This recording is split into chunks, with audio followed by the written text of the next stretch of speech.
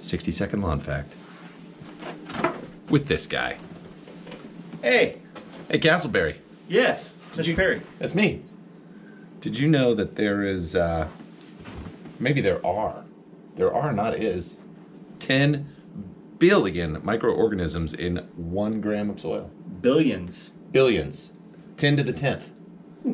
10 to the 10th in soil. So in a quarter teaspoon of soil, one gram of soil has 10 billion microorganisms, which, if you think about it, that's more than all of the humans on the surface of planet Earth. Very That's tiny. Yeah, and they all have a job. And they're all working in there all the time, and some of them are feeding off the nitrogen that you're giving it. Some of them are just converting uh, atmospheric in. Some of them are just living and eating and digesting and feeding the roots from down below. There's all of these different strains, between five and sixty thousand different strains. That's a lot. It's pretty neat. Yeah, it's really neat.